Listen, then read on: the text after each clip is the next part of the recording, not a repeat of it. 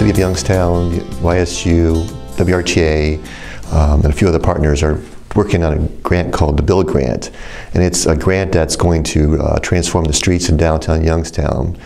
And the grant that deals with WRTA's portion is they're going to have a, um, a road diet on Fifth Avenue from our transit station um, on Federal and Fifth that goes up to YSU, and another one that goes down Rayen up to the new Chill-Can plant. And these routes will have uh, dedicated bus lanes with autonomous vehicles on it as a demo project um, to try and show that how it's going to work with transits.